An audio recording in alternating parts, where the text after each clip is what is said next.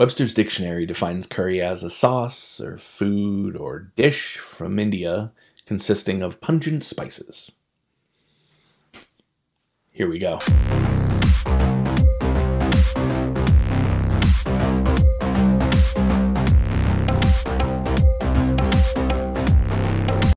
See, curry means something different depending on who you're talking to, and it rightfully pisses people off tremendously depending on who you're talking to.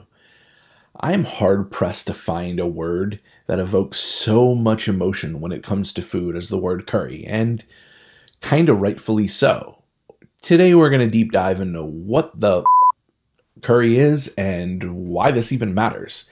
See, in the West, curry is kind of this general term that's used for anything Indian. I mean, you look at a vindaloo and they say it's a curry. You look at tikka masala, you say it's a curry. You look at anything and it's kind of curry. Well, that word can evoke a lot of emotion, right? I mean, people from the East, rightfully so, don't associate their food with one simple generalization, and let's face it, Neither should anyone in the world. It over oversimplifies something that is incredibly complex and diverse and beautiful, like Indian cuisine.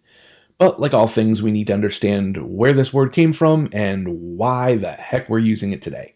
Well, the word curry is actually an anglicized version of the word in Tamil meaning curry.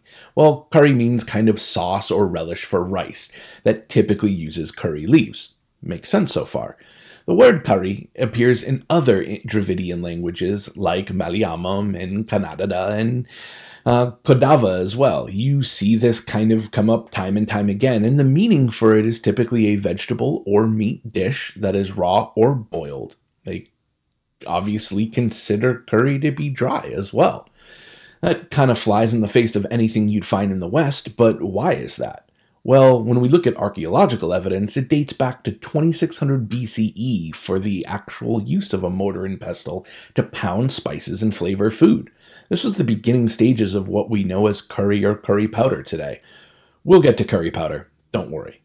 But see, the original curry actually predates European arrival and presence in India by over 4,000 years. So, curry was along way, way before any sort of colonization the three basic ingredients into a typical curry was ginger, it was garlic, and haldi, or turmeric. See, there was this method that these wonderful archaeologists figured out, and it's called starch grain analysis. And these archaeologists at the University of Washington at Vancouver were able to identify this residue um, from ancient species of skeletons, uh, both in their teeth and on the pottery. And what they found is that these spices were pounded in a mortar and pestle and prevalent on their teeth. So curry is described in a 17th century Portuguese cookbook by members of that wonderful British East India Company. You remember them, and if you didn't, watch that video. I'll put the link below. So here's the thing. At that time, there was this spice blend going around the south of India, and it was called curry podi, or curry powder. Well, that's not the entire origin of it. There's a little bit more we see the first use of curry, C U R R Y, in an anglicized version of Hannah Glasse's 1747 book, The Art of Cookery and Made Plain and Simple. Well, curry powder was commercially prepared at that time from mixtures of spice blends from the uh, that they wanted from India that they took to the West. See, when the British occupied India, they got a taste for the food. Clearly, you can look at what's happening now. Well, at that point, there's something really important here. They wanted that taste of home. Curry became craveable. And let's face it, anyone watching this who's tucked into a really nice gravy before knows how craveable that can be. You guys are masters of spices. Of course, it's craveable. But like all things, the British wanted to take that and make it for their own. So Without demonizing too much here, a concoction that was very similar to garam masala was made. This concoction had a lot less of those warming spices and a lot more haldi, and that's how we got modern curry powder. The way that I see it, curry is a word that's been popularized by colonists to simplify what they saw as foreign cuisine. Now, that may be rough, but it's the truth. Today, there's become so much generalization from this, this word that it's hard to figure out what curry even means anymore. Think about this as just a point.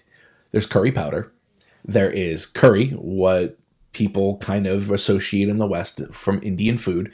There's curry paste, there's Japanese curry, there's curry leaves, there's Thai curry, and that's not even scratching the surface of how complex that word can be.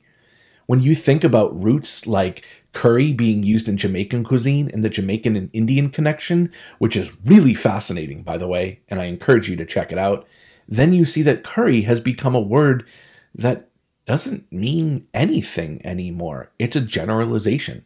Now, of course, this would confuse people. So, curry is a word that elicits a lot of emotion as well. You hear a lot of stories of people migrating from the east to the west, opening school lunches in the west, and getting made fun of. And let's just be honest, that's fed up. Curry became this slander. And over time, a lot of people had a lot of wounds as a result of it. People trying to immigrate had a really difficult time. And that's pretty.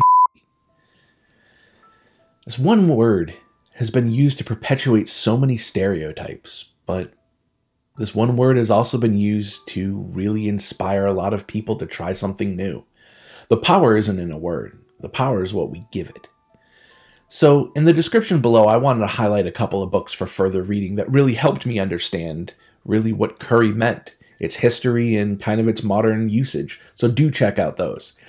As many of my Asian friends and many of the people from the subcontinent who watch this will attest to, South Asian food is about so much more than curry. And I'm sorry that words get generalized all the time. Don't blame me. Here's the thing I don't hate the word curry. And when people say, oh, Indian food is curry, I'm very quick to kind of show them an alternative. But at the end of the day, yes, that word has been done to death. Yes, that word kind of sucks in some ways, but it's also been really good.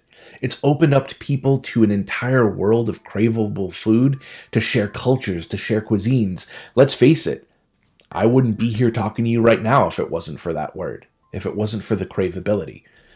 Remember, the power isn't in the word, it's what we associate it with.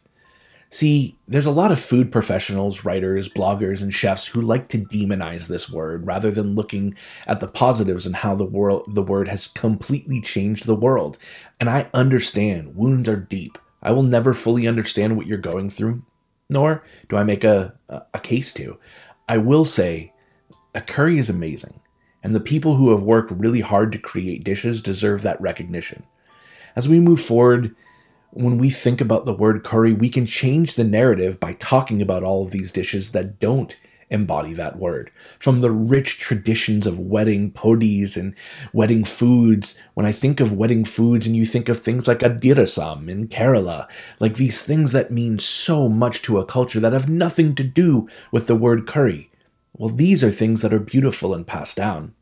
See, at the end of the day, we know that Indian food is not about curry, it's about passion, it's about vibrance, and it's about Atma. I hope you learned something today, and if you did, feel free to hit the subscribe button, share this with your friends, and most of all, let's think about curry in the sense that it's a word that changed the world. And I get it. I'm just some random dude on YouTube, and I can't change people's perception of the word, but what I can do is inspire. And whether it's through curry, whether it's through rice, whether it's through achars, whether it's through anything, I think if we all come together, we create the narrative. Until next time, thanks for watching.